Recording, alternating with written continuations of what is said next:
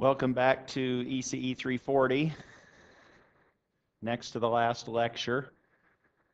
And then you'll have homeworks and exams is all that's left. You have homework number nine is due today. Homework 10 is due the next time we meet on Tuesday, or it's due that day. The final exam is, wow, getting lost on dates. Two weeks from yesterday, is that correct? The 8th of May, which is a Wednesday, and it's at 1 o'clock. So make sure your calendar is adjusted to do a Wednesday exam instead of a Tuesday or Thursday exam. And it will be in this room. I haven't yet verified this review session. I'll try to verify that before Tuesday's class. And stay tuned to the D2L website in terms of office hours. If you're interested in office hours, I'll try to have some of those after the last day of class. I'll have one on Wednesday at the normal time, and I think I'm planning to have my normal office hour on reading day, which is a week from today at the normally scheduled time.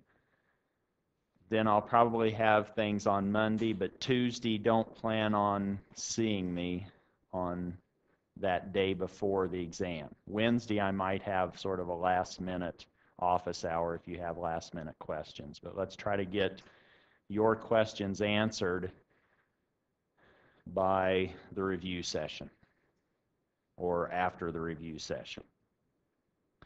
Today, what I want to talk about is really focusing on sampling and how fast do we sample and what happens if we sample at a rate that is not consistent with this Nyquist frequency. You've probably heard of that, maybe you've already played with it some, but I hope after today's class that you feel a little bit more comfortable with where did it come from and what happens if you don't sample at the Nyquist frequency.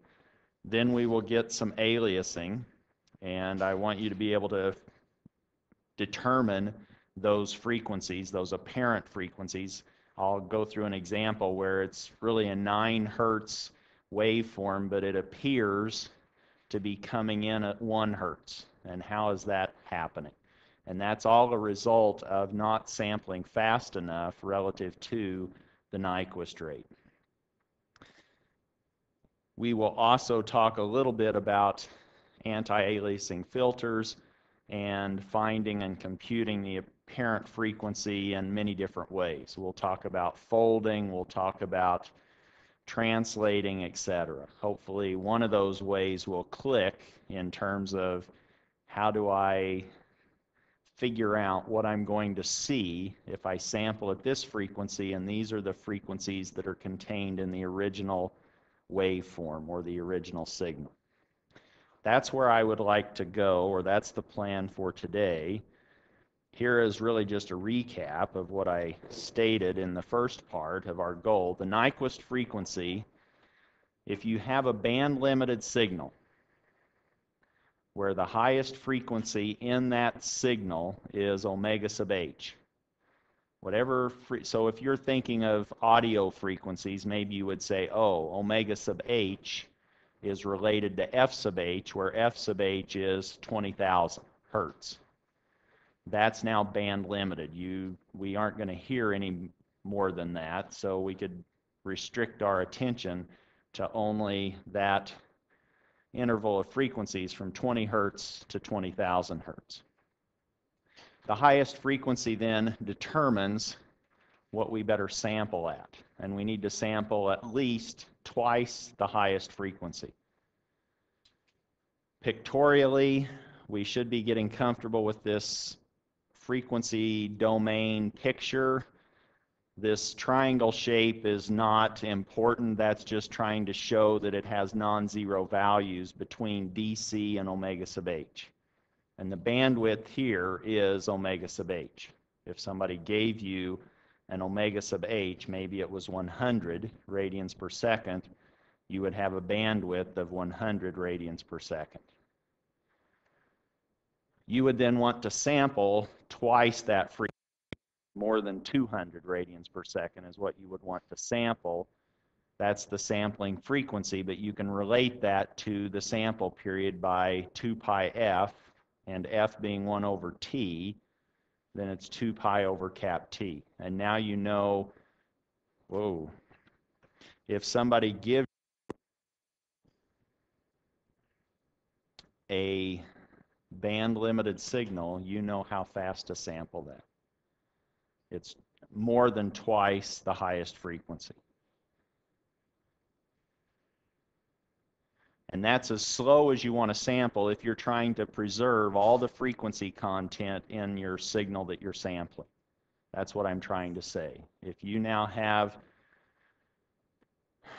a bandwidth of 100 radians per second, you better be sampling beyond 200 radians per second if you're going to keep those frequencies at their specific frequency that they start at.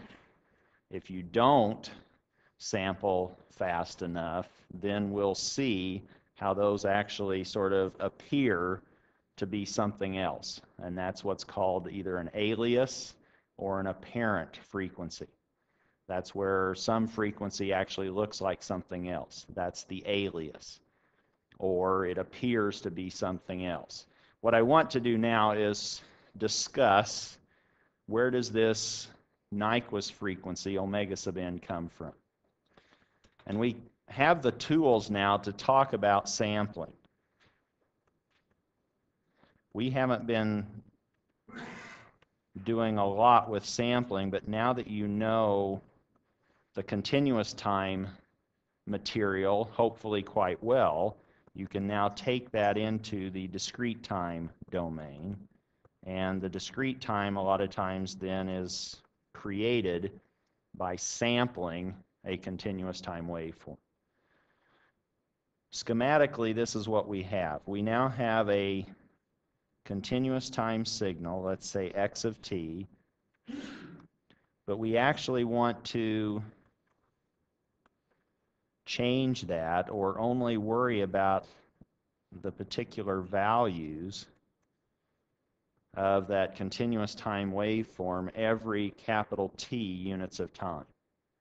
And that's what this schematic is showing. That switch is closing every capital T units of time, and every time it closes, we get another number. And we're going to assume that we have infinite resolution in the amplitude space. So we're not worrying about quantizing that waveform, that x of t, in terms of its value or magnitude.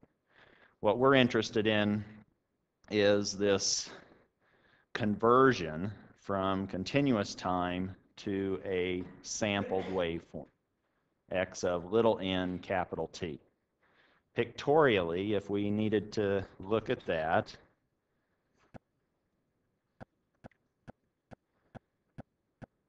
if somebody said, oh, here is our x of t, what we have now done relative to that analog waveform, here is our time axis, we have now broken that down into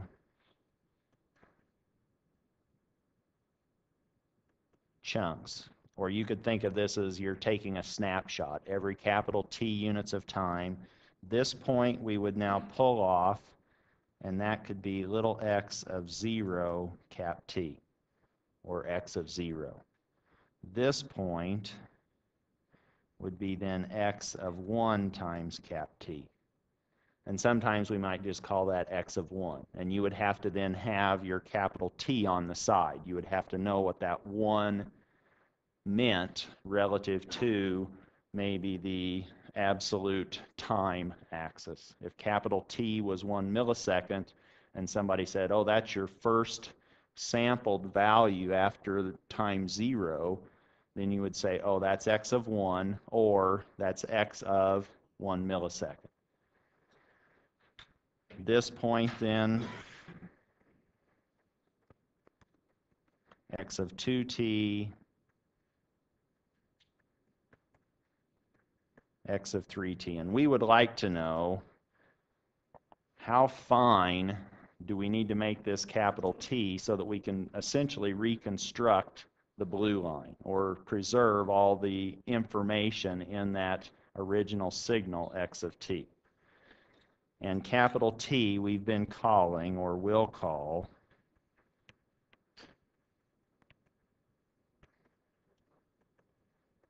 the sampling period, and that's related to the sampling frequency.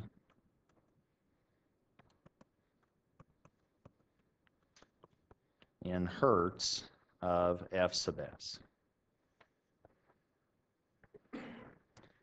Now, what we want to do is come up with a way to analyze this information. We have the original signal, little x of t. We've now converted that into a sequence of numbers.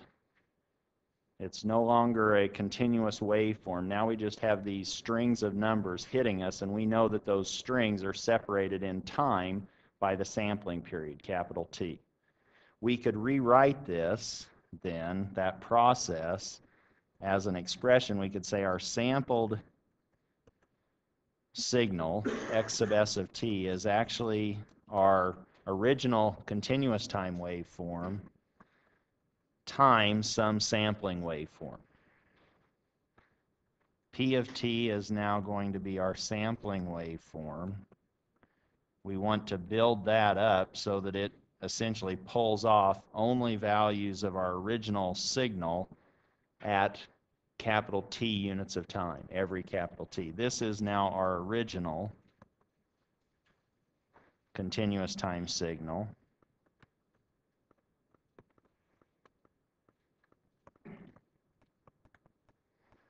and x sub s is our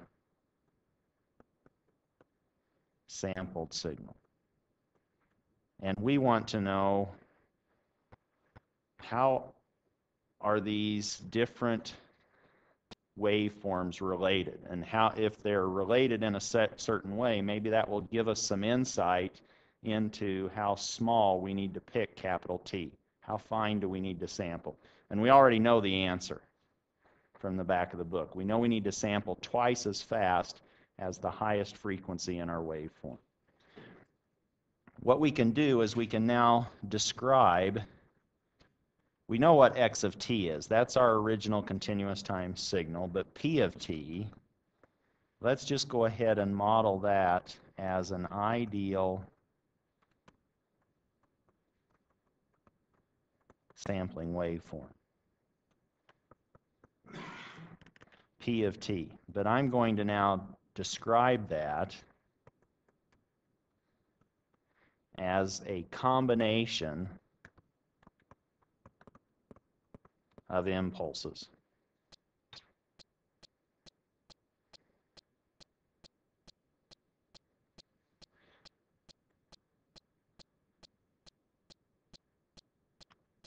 Pictorially, what this is really saying is that's saying that now I have an impulse. If you would evaluate that at capital, uh, little n equal to zero, we have all of these little n's from minus infinity to infinity. And that's going to now separate the argument of that impulse by capital T units of time. If we look at n equal to zero, this is now just the impulse. And the impulse is something that happens right at the origin and we usually label it as having 1 for its weight, the area underneath that impulse. The impulse is infinitely tall. But this is now an ideal sampling waveform. If we would hit this x of t with just this impulse, we would pull off the value of that x of t right at the origin at time t equals 0.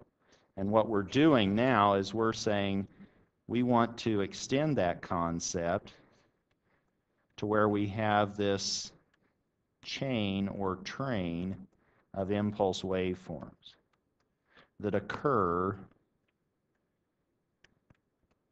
every capital T units of time, or that's how far apart they are separated.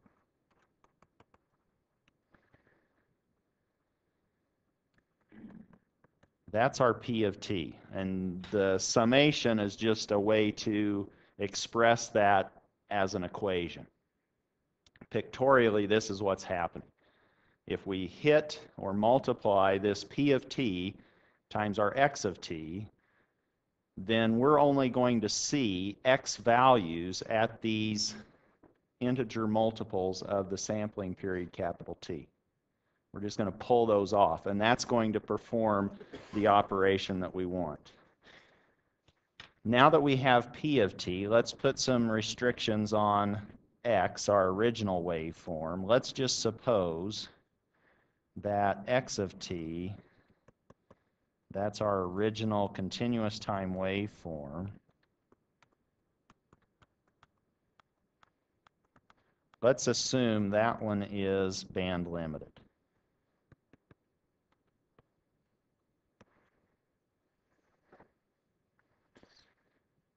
If I now ask you to sketch a picture that would sort of illustrate this band limited nature of x of t, do you see what you could sketch or what domain you might be using to sketch your diagram? This means that x of t only contains or is composed of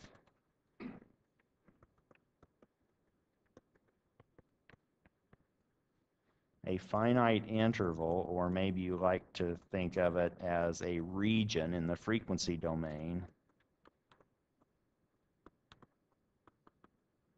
of frequencies.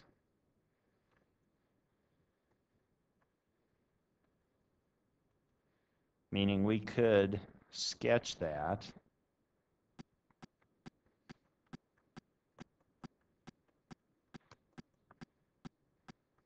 let's just say that it has an amplitude at DC of capital M, and this is now our magnitude of the frequency response. By band limited, we are just meaning that this interval is finite.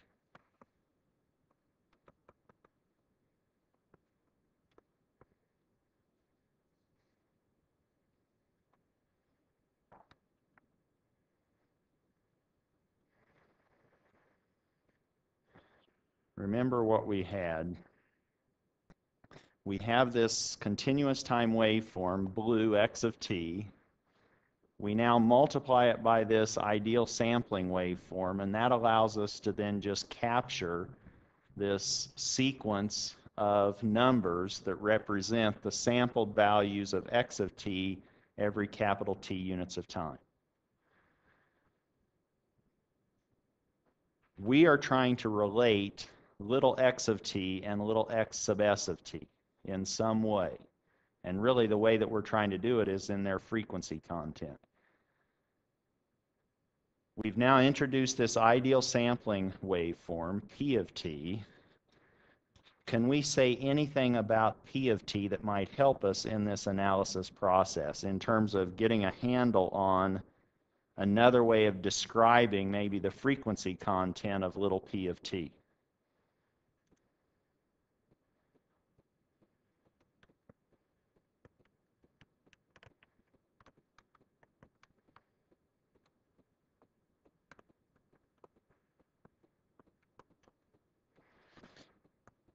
Suppose you're studying for the final and somebody goes, oh, here's P of T. And they go, so? Is there anything peculiar about it? And now what you're trying to do is think of, well, how have we modeled signals? What, what is happening with P of T? It's happening routinely, isn't it? It's periodic. Oh, it's periodic. Wake up. It's chapter 6, right? Anything that's periodic means what? Now we have a Fourier series. So we should be able to model this by a Fourier series. Knowing that it's periodic, now we can say, oh, let's do the analysis relative to Fourier series. That's what we can say about P of t. So what can be said about P of t? It is periodic.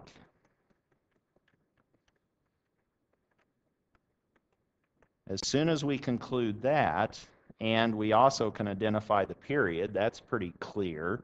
It has a period of capital T.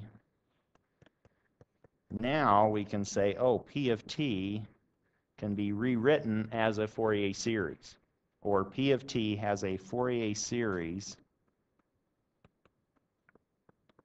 representation.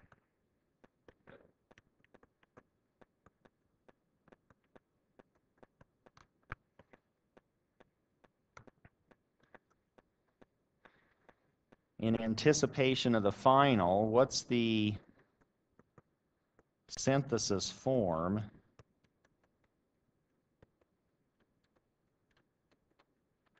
of the Fourier series? Or how do we write P of T in terms of a Fourier series? How many Fourier series have we talked about in this class? Maybe three. We had a trigonometric Fourier series. We had a compact trigonometric Fourier series, and we had a complex exponential Fourier series. Let's do the complex exponential Fourier series with P of t. If little p of t has a complex exponential Fourier series, we can then rewrite that as this sum from n equal minus infinity to infinity of d sub n. Those are our coefficients that scale these complex exponentials. We're just now combining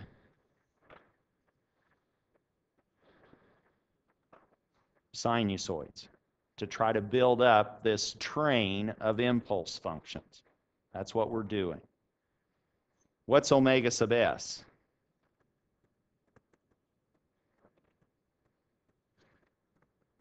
If you wanted partial credit, you could write that down, right?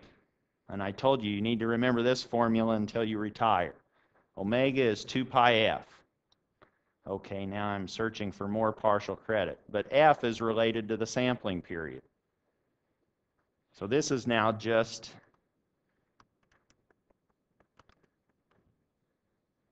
because our sampling frequency in hertz is 1 over t. And we know what t is. That's, every, that's how far apart these, sample, these impulse waveforms are. We know how far apart they are. That gives us f sub s. Once we have f sub s, we can get omega sub s. Now we know the frequencies of these sinusoids that we're going to combine to build up this train of impulses. So now we have these signs and we have harmonics of omega sub s. That's what little n tells us. Little n tells us we have 1 omega sub s, 2 omega sub s, 3 omega sub s, etc. That separation is what gives us all of that. What's missing in this expression right now are these weights. How do we weight these sinusoids? Can we find d sub n? And d sub n is just the other half of the Fourier series derivation. That's the analysis piece. How do we now analyze the amount of each frequency or harmonic in this series expansion for P of t?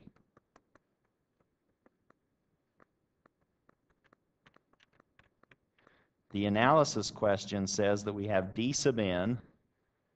We're integrating over one period, aren't we? to find that d sub n. And so we divide out that period. We're integrating from minus t over 2 to t over 2 if we want. We have p of t e to the minus j in omega sub s t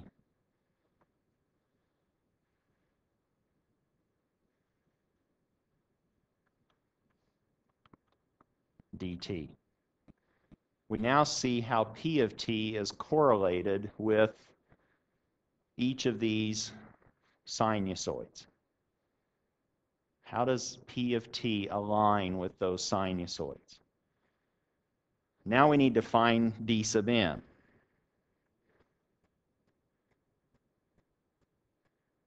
But remember what we're doing. P of t is this. Now we have to integrate this an infinite number of times Not quite, because now all we have to do is focus on one period. And we decided to make our period of interest go from minus t over 2 to t over 2. Meaning now down here in this integral to find d of n, this p of t is this sum from n equal minus infinity to infinity of delta of t minus nt. But if we're only integrating from minus capital T over 2 to capital T over 2, the only one of these that's going to be there is that one right at t equals 0. All the others are gone from that integration of finding capital D sub n these coefficients that are weighting the exponentials. Let's now use that information to try to find d sub n.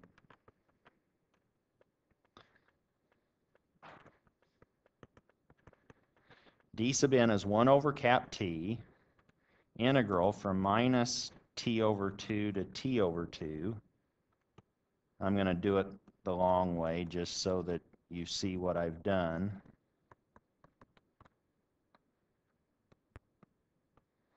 I'm not sure why I put that S subscript, so, oh, no, I'm going to take it off.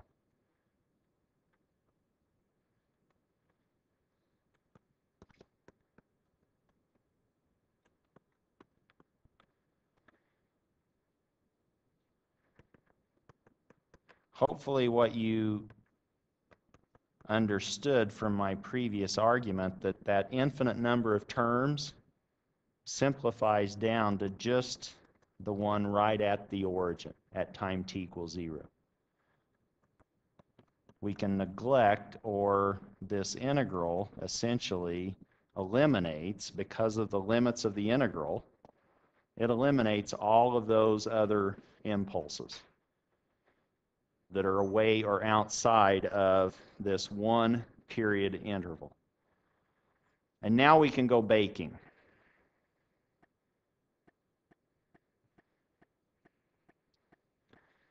What? I always think of homemade pies when I see this.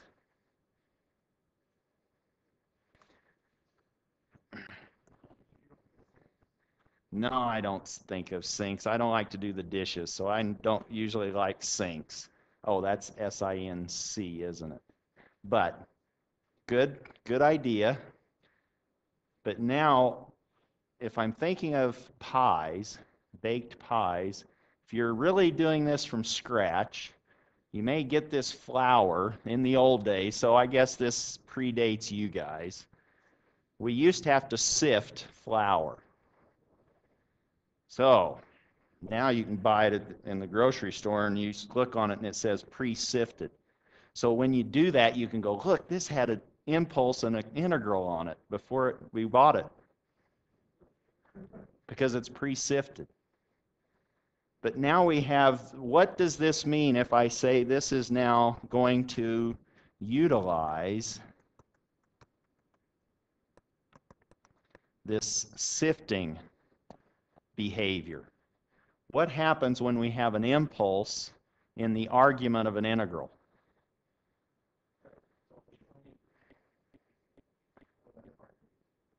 this whole thing is only going to be of interest at the instant when this impulse is active. And the only time this impulse is active is when its argument is zero. In this case, the argument is zero when t is equal to zero. But if this was happened to be delta of t minus, let's say capital T over 4, then this whole thing would say, oh, pull out what's left from the integral and evaluate that at little t equal to capital T over 4, because the argument of this impulse was t minus capital T over 4. And I want to know when is that argument equal to 0? That's when the impulse hurt, hits. In this case, the impulse hits right at the origin. That's when the argument is 0. So now we have pies and broken hands. We need to get some, maybe some hot pads, then it wouldn't have hurt so bad. And now I'm really hungry. Now we know how to handle this, right? We go apple pie, and immediately it falls out. We now can say that that entire integral is just going to be the argument e to the minus j n omega sub s when that impulse turns on, and that's when t, little t, is equal to 0. Now we have e to the 0, and that's 1. Meaning, all of these d sub n's are just equal to 1 over t. They're a constant. And what's 1 over t? Another way of writing it is f sub s. Now we know that to build up this infinite chain of impulses, we really just need to know what's the sampling period, capital T. Once we know that, now we know what the d sub n coefficients are. They're 1 over cap t. And we know the frequency, omega sub s. Now we know how to build up or weight all of these frequencies, and we know the frequencies to use in those exponentials. Here's now the rewritten form of P of t. P of t is now this sum of d sub n, but you know what? This d sub n is not a function of little n anymore, is it? It's independent of the index. I'm going to write that out front. That's f sub s. Then I have this sum from little n equal to minus infinity to infinity of all of these complex exponentials. And again, just as a reminder, omega sub s is 2 pi over capital T, where omega sub s is 2 pi f sub s. And this now is our complex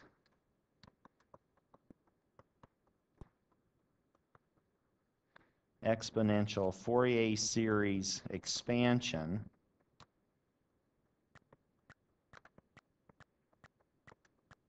of P of t. And that is supposed to help us in our subsequent analysis. Now we have another way of writing this infinite chain of impulses. That's all this is. Pictorially, this is just this train of impulse functions. And that's really being used to sample this continuous time waveform x of t. Now let's, now that we know little p of t, let's Fourier transform little x sub s, just for grins. Let's now see if we can find the frequency content. That's one of the reasons we like to go into the frequency domain and use Fourier, either transforms or series. Let's now look at the Fourier transform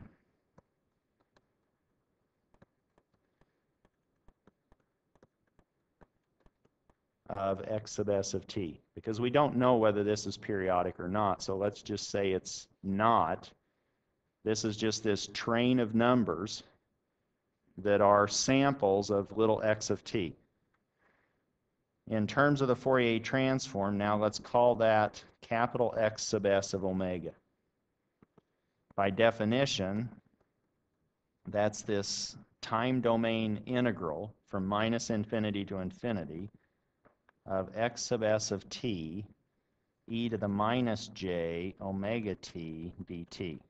And now we're saying how is x sub s correlated with these complex exponentials. And omega now is a continuous variable, continuous function of frequency. What is x sub s? Well, we can rewrite that as x sub t and p of t.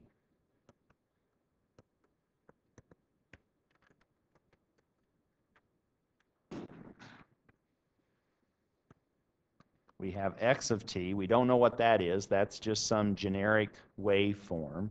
But we do know p of t.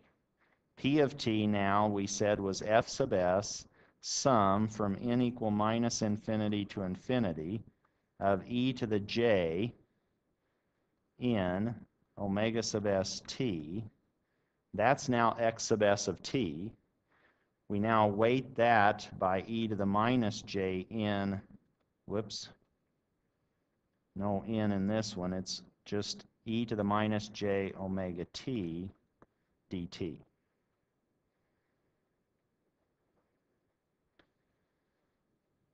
The integral is only worried about time, and the little n's are not functions of time. So we can pull all of that summation, the f sub s we can pull out, and just leave the other pieces inside the integral.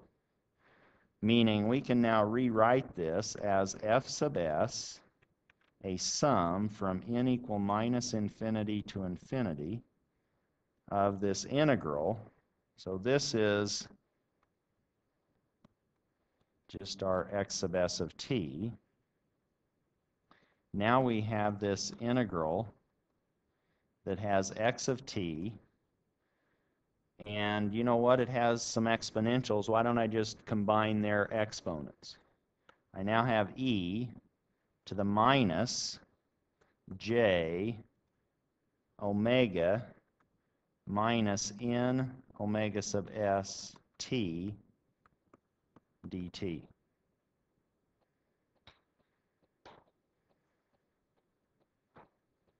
That's just performing some algebra on that exponent. So I had e to the minus j omega t. I have e to the minus j omega t, and then I have plus j n omega sub st.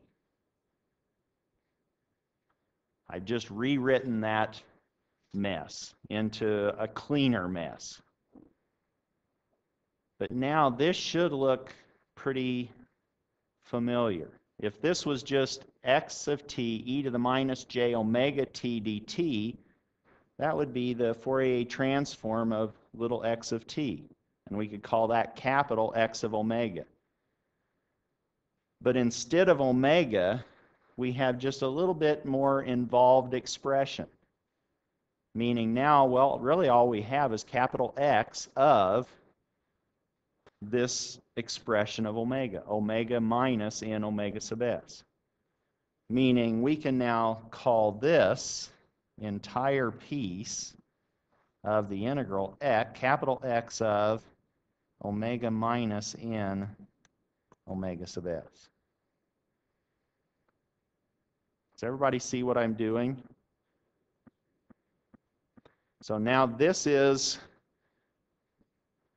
going, it can be something related. We could be thinking about the discrete Fourier transform, and but that's not where I want to take it just yet, okay? What I want to do now, though, is use this notation to replace all of this integral. And now what I have is this infinite sum with capital X in it. I now have the Fourier transform of the sampled waveform equal to f sub s times this infinite sum of capital X of omega minus n omega sub s. Which if we wanted to think about that, let's just sketch that. What is that? Well, I like to just plug in particular values for little n. If I plugged in little n equal to 0, this would be capital X of omega. And we know what capital X of omega is. What we're trying to sketch now is the magnitude of capital X sub s. But the very first one that's centered at DC is now f sub s. We said capital X of omega had a magnitude of m at DC, and we said that it was band limited. Did I say omega sub h and minus omega sub h? Now what else do we have? Now we can go over here and say little n equal to 1. And now what I have is I have this is omega minus omega sub s, meaning it's just this same picture translated omega sub s in frequency. Meaning I can now sketch this to look exactly like that other triangular shape, where this endpoint, what's the value of that endpoint? It's omega sub h less than omega sub s, isn't it? So this is now omega sub s minus omega sub h. And this point is omega sub h beyond omega sub s. And if you look at this expression, hopefully it's clear that now all I'm doing is I'm copying. Now I've gone to the copy center and I'm copying this triangular wave shape at each sampling frequency omega sub s. So I could go over here and say 2 omega sub s, and I have this same picture. I could go back here and say minus omega sub s. I now have that same picture. Minus 2 omega sub s, and I have that same picture. And this just goes on and on. That's what that infinite sum says.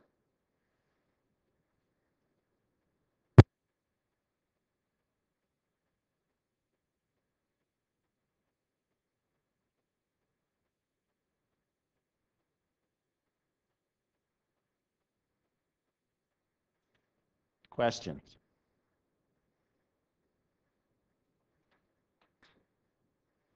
Does everybody see what we've done?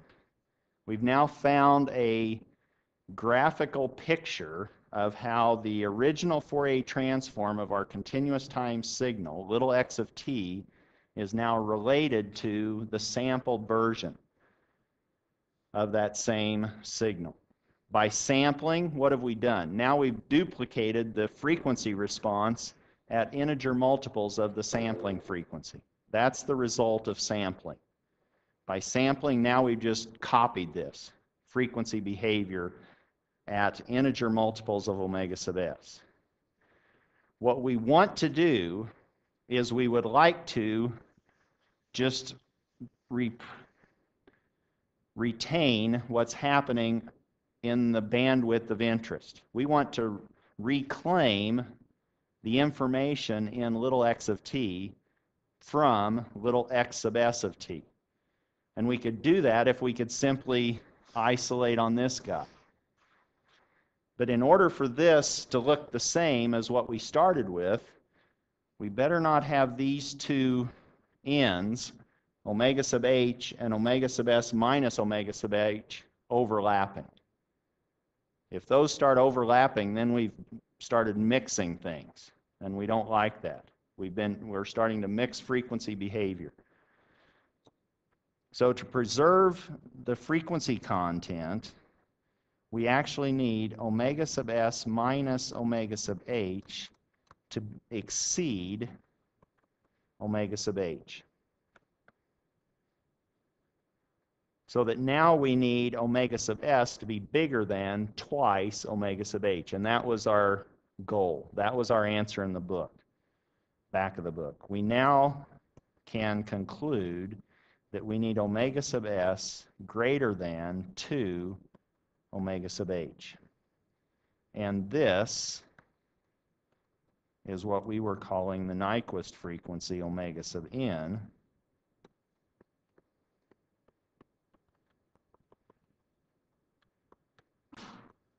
We've now derived that result.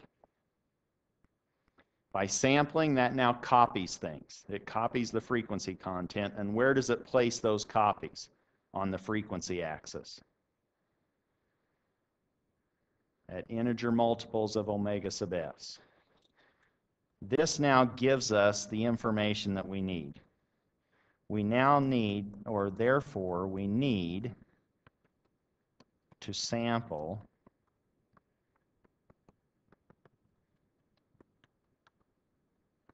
twice as fast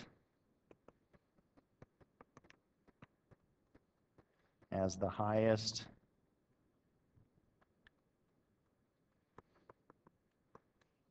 frequency signal component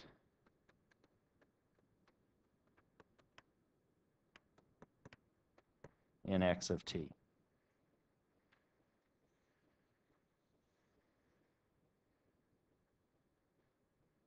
If somebody now says, oh, I need you to sample this waveform, you better be starting to ask some questions about what's the frequency content in this waveform that we're sampling. And if you can now restrict the bandwidth or the frequency content of that signal, now you know the minimum value that you need to sample. What we want to look at now is what happens if we don't sample fast enough. And that's going to cause aliasing. What if we do have these tails overlapping? What if we do not sample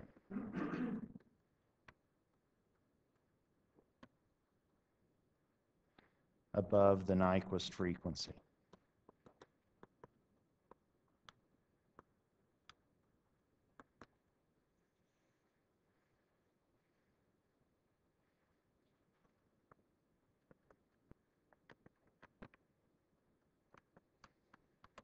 What's going to happen? Let's look at an example and see if we can figure it out. Here's a question. What frequencies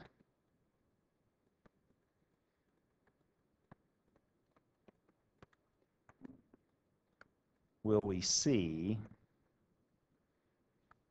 when somebody says, oh, here's a waveform, x of t, and it's 4 cosine of 3t plus 5 cosine of 8t. And now they tell us that they're going to sample that at a sampling frequency omega sub s of 10 radians per second. And now we want to see what frequencies are we going to see in the resulting sampled waveform. What frequencies are present in x of t just to begin with? 3 and 8, right? You better be able to get that on the final if I gave you a question that easy or that nice. Now we know that we have frequencies at 3 and 8. But what did we say happens when we sample? Here's omega. And here's DC. And now I just said, oh, I have a frequency at 3, and I have a frequency at 8. I have the negative of that and there, right? That's what I have now in terms of frequency content. But what did I say happens? This, now what I want to do is I want to find what's the so this right now, what I have sketched is without the subscript. Well, if I drew the lines in there. Oh, and I don't know why I gave them different amplitudes, but what's this line going to be? If this is the complex exponential, that's half of what it was, right? So that's 2, and this is now two and a half.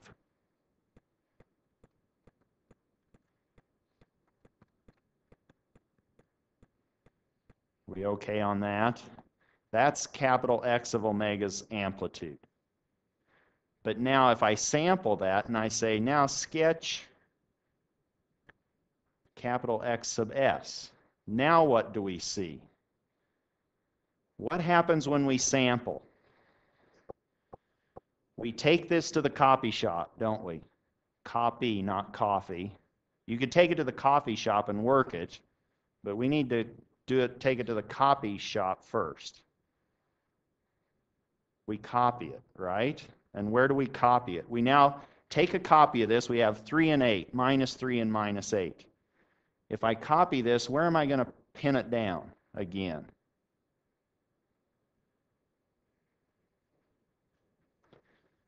Where do I start drawing those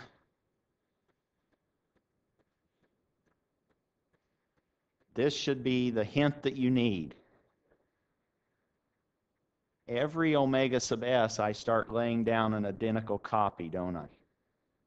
So now I need to go up to omega sub s, which in this case, in that example, what did I say my sampling frequency was?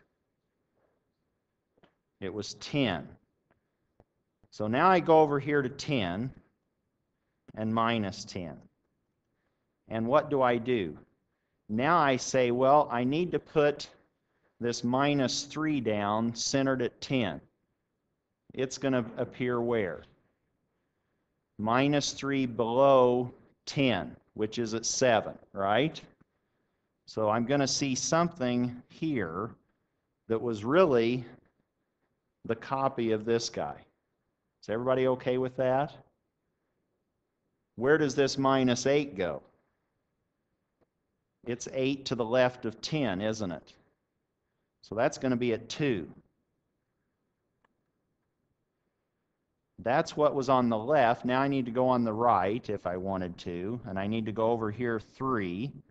So here is 13.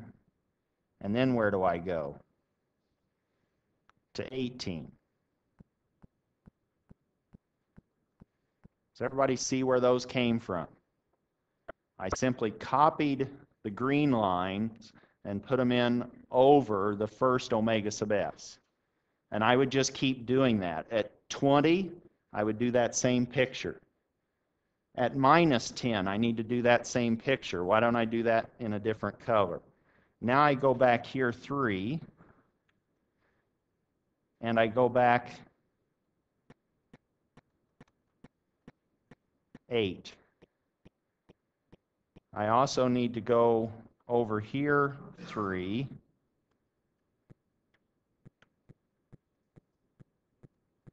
and minus 8. But now, what am I going to actually see in my sampled waveform? What frequencies am I going to see? Now my frequency domain space has frequencies at 2, 3, 7, 8, 13, 18, all of these copies, doesn't it?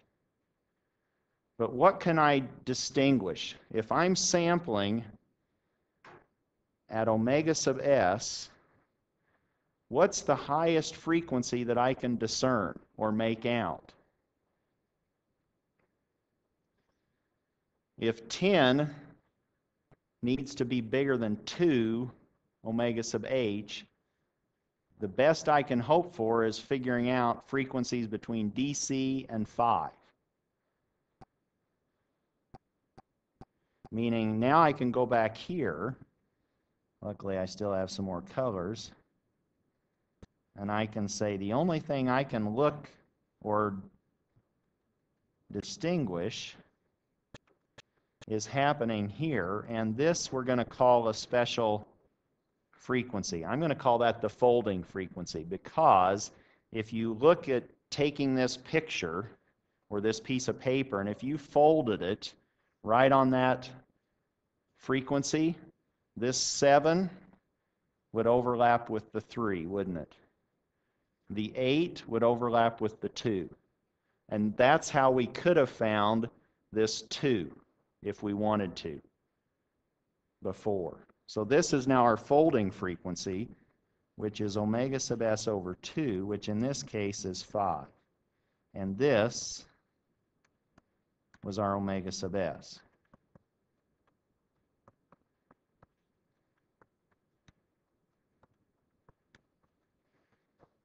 In other words, instead of maybe going to the copy center, we could simply write down our original frequencies, 3 and 8, and then fold over the folding frequency and say, oh, that 8 is actually 3 beyond 5, so it's going to appear as 3 below 5.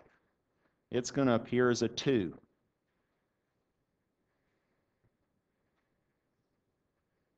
Questions on that? Pardon? Well, it's going to appear as 2 because all we can distinguish is 0 to 5.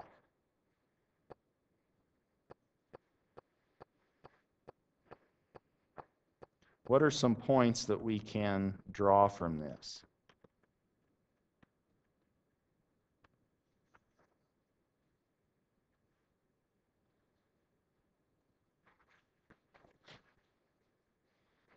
If we wanted to go back and say, well, how fast should we have sampled?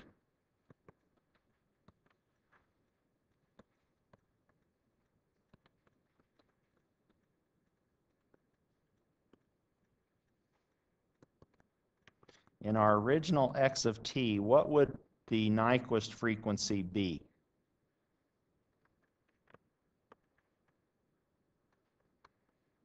It needs to be twice the highest, and the highest was actually 8, so we should have been, in order to preserve the original frequencies of 3 and 8, we should have been sampling at least 16 radians per second. And we weren't doing that. We sampled at 10. What was the other idea or concept that we introduced? That was the folding frequency.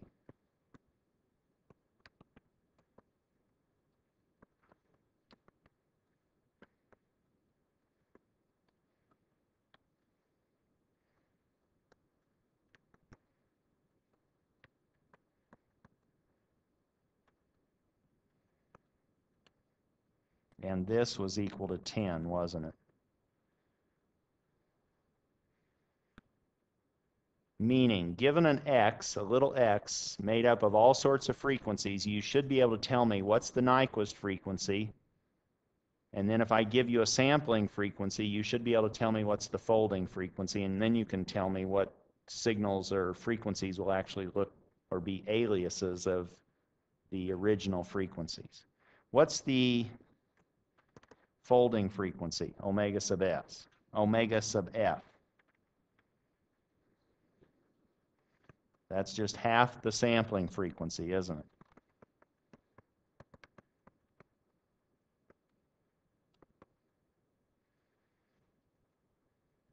And what we can see from that is our highest frequency, which was 8, was bigger than our folding frequency, which was 5, and that's going to actually suggest or tell us that 8 will be aliased.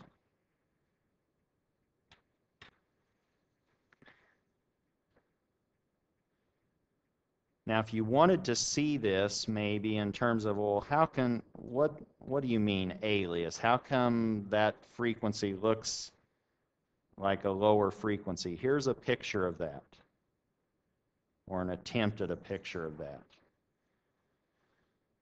I have two waveforms sketched here. The dashed blue waveform, and that's at 1 hertz. And I have this green sinusoid, and that's at 9 hertz. But now if I sample at 10 hertz, and I've shown just one second, a one second interval here. If I now sample at 10 hertz, if I put 10 samples in one second, look what's happening relative to the 9 hertz waveform and the 1 hertz waveform. They align, don't they? And what do I know if I'm sampling at 10 hertz? What can I actually see or discern? What's the highest frequency that I could see? 5. So the best I can hope for is to see frequencies between DC and 5. There's no way I'm going to be able to distinguish a 9 hertz waveform. If you were looking at this, all you would see would be these stems. You'd cover everything up, and all you're seeing are those stems. If you're sampling 10 times a second, you're just taking this strobe right at those blue lines. And if you're doing that, what are you seeing? Well, the 9 looks identical to the 1, doesn't it? because they are exactly the same in terms of value at those points that I'm sampling.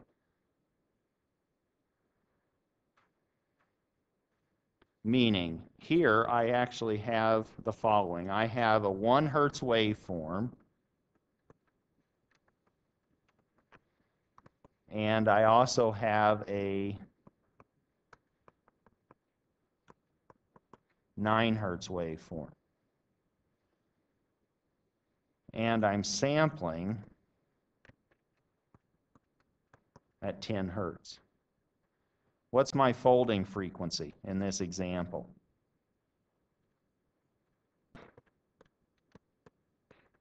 That's 5 hertz. Now, can we derive or convince ourselves that that 9 will look like a 1? What do we know is happening? We know all we can hope for is to see things between 0 and 5. And we actually have something out here at 9. Now, if we virtually fold the paper on that crease at 5 at this folding frequency, where's that 9 going to appear? Right at 1. Yes, sir?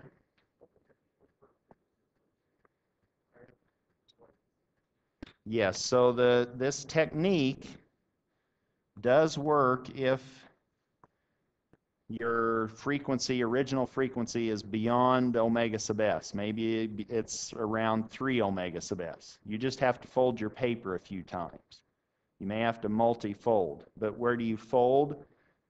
You have these folding frequencies, and then you keep folding at those folding frequencies. But in this case, this distance is 4, and so that means that this guy is going to get aliased back 4 away from 5.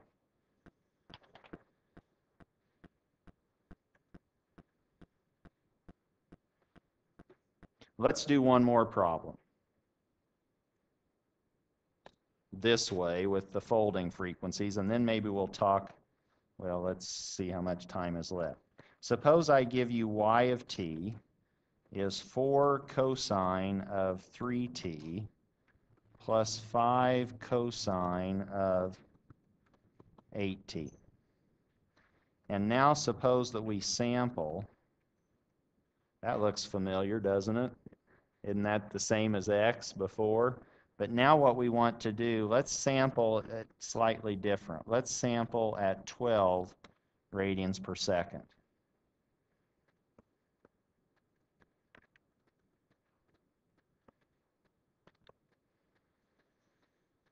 Are we going to see what we saw before? What did we see before? We saw 2 and 3 when we sampled at 10, right?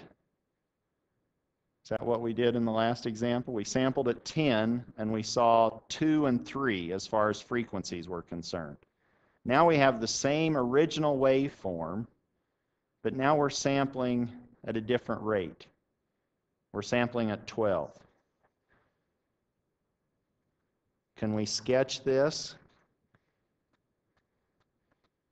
We have something at 3 and we have something at 8.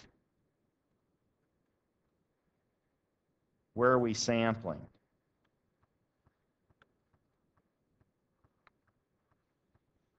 There's our sampling, isn't it?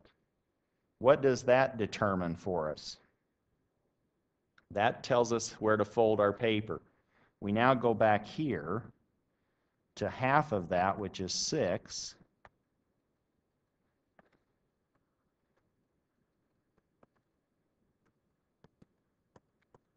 which is 6. And now what do we do?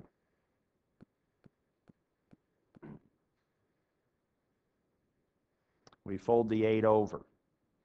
And where's the 8 going to end up? This is now going to end up 2 below 6, or it's going to be at 4. So now we can have this guy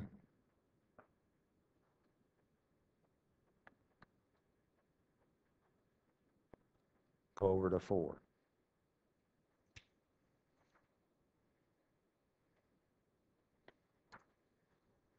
Questions on that? Yes.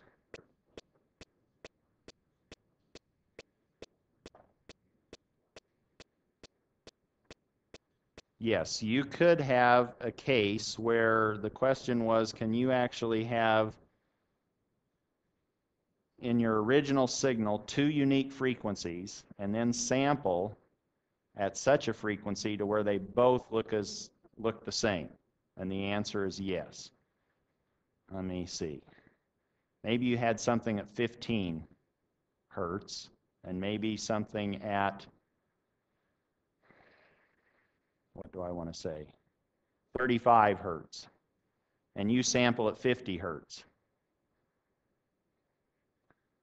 If any of that makes sense. Did that just work out? Let's say that we had a frequency F1 is 15. F2 is, what did I say, 35? And now I said, suppose we sample at 50. What do we have? What's our folding frequency? Now we have a 25 hertz folding frequency. And what's this F2's alias going to do? The apparent frequency for F sub 2, and maybe we'll do that, maybe we'll get that far, is you can take the original frequency, and then you can just start subtracting multiples of the sampling frequency to get at the apparent frequency or the aliased frequency. Meaning, f sub 2 was 35. If we subtract 1 times f sub s, which is 50, what's this going to give me? Minus 15. But what's 15 look like? 15. So that's where we, that's going to give us something lying on top of it. Now, how could we start avoiding some of this? Now, hopefully you can see that if you're not careful, if somebody gives you a signal and you just arbitrarily sample it, if that original signal had some high frequencies in it, now after sampling, they're going to look like low frequencies. And you're going to go, ah, what's going on with my system? But what did we just uncover before? In those two examples, we had one frequency at 3 and something at 4. Here we had something at 3, but something at 2. So if you sampled at two different frequencies and one of those frequencies starts moving around on you, you know that it's an alias. Right? Because one time it was at 2, the next time you sampled slightly different, you sampled at 12 instead of 10, and now you got a frequency at 4, but that 3 stayed put. Now, if you ended up with this guy, then you're out of luck unless you take a couple of more frequencies to worry about. Because now everything looks like 15 in this scenario. How can we start avoiding some of this? What have you learned in this class, if you wanted to eliminate frequencies, what would you do? Filter. So now you might anti-alias filter, which is really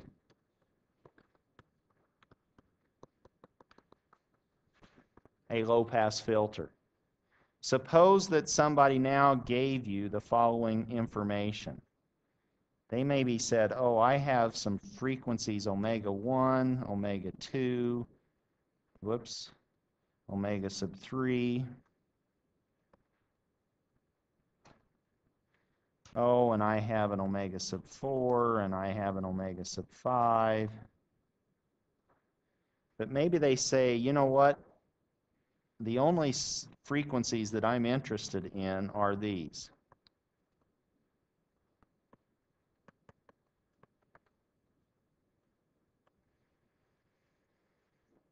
What do you want to do?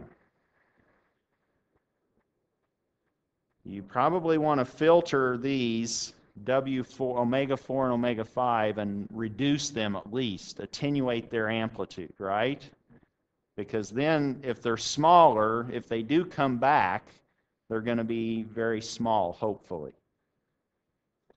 Meaning, you now might want to overlay on top of this. So these omegas might have been the X omega, but now what you say is you go, you know what, I'm going to low pass filter these.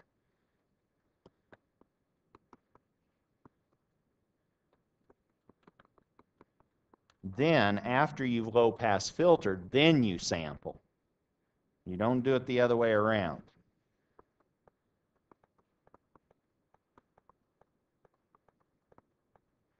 Prior to sampling, you want to low pass filter. Schematically, what we've now said is if we have this signal x of t, and maybe it has frequencies of interest and non-interest, the first thing we want to do is put it through a low-pass filter, and then we can sample it to get x sub s of t.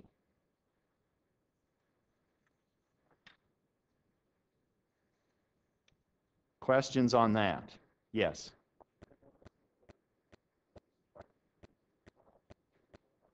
So now you have to, so the question was, do you have to, so where do you sample relative to the cutoff frequency of your low pass filter? And that's going to be up to you. That's your design point because you need to know how fast am I rolling off, what's omega sub 4, etc.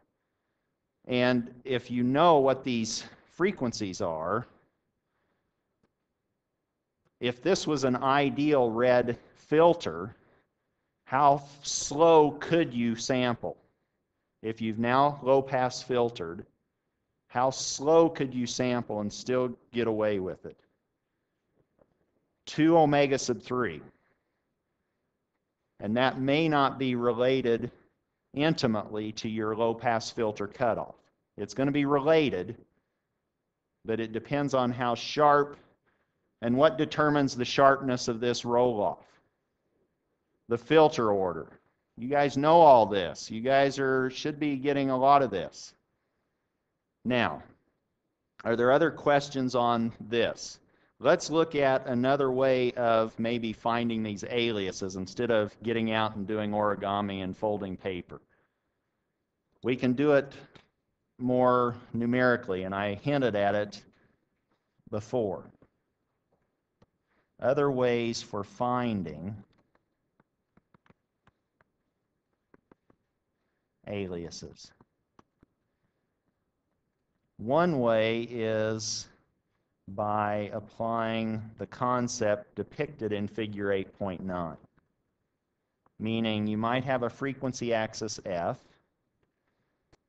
and now what you know is if you sample at f sub s,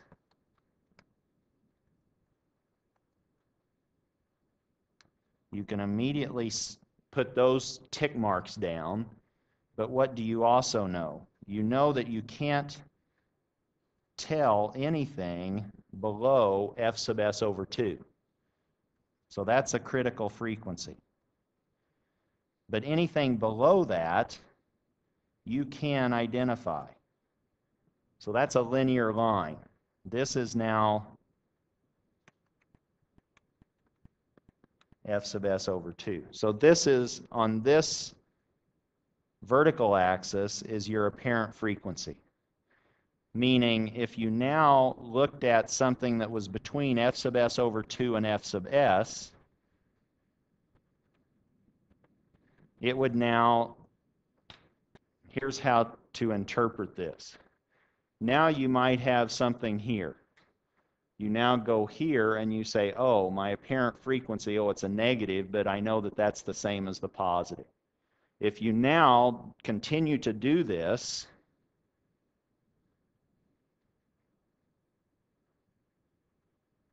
I hope it's a terrible sketch, but this is now another multiple of f sub s over 2.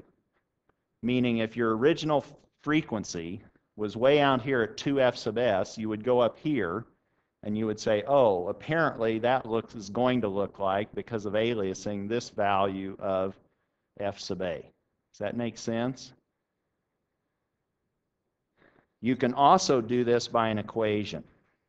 You could also do this from equation, and this is what I had hinted at before, 15a. If you now had your apparent frequency or the aliased frequency, that's going to be coming from your original frequency minus some integer multiple of f sub s. And you want your f sub a to be ending up between f sub s over 2 and minus f sub s over 2. This is now your apparent frequency or the alias. F is your original frequency. M is some integer multiple. And so you just pick that M until F sub A lives in this interval. You just keep changing M until you get a number F sub A between F sub S over 2 and minus F sub S over 2. And now you have your uh, alias or your apparent frequency. F sub S is your sampling frequency. And hopefully that is consistent with what we've talked about in today's class, and you can look at how you can use this formula to do the same thing as your folding of paper. And this is doing the same thing as that earlier figure, figure 8.9. Questions on, the, oh gosh, I was going to give you the teacher course of